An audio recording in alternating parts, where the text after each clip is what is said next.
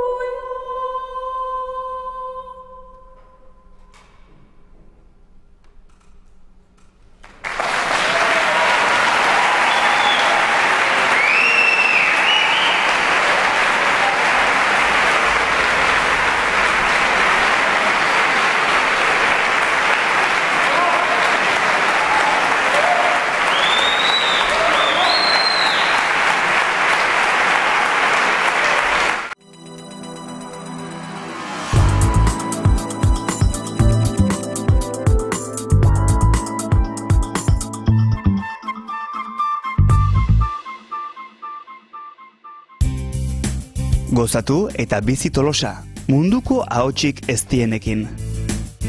Tarte hau, tolosako udalak eskaintzen dizu.